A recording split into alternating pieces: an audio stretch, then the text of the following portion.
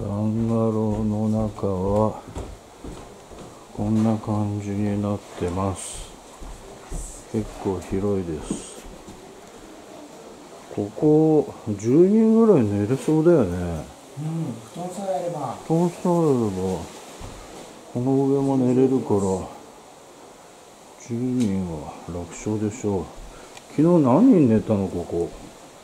えっとね4人か5人。そうだよねそうだよね、それ余裕だっけ？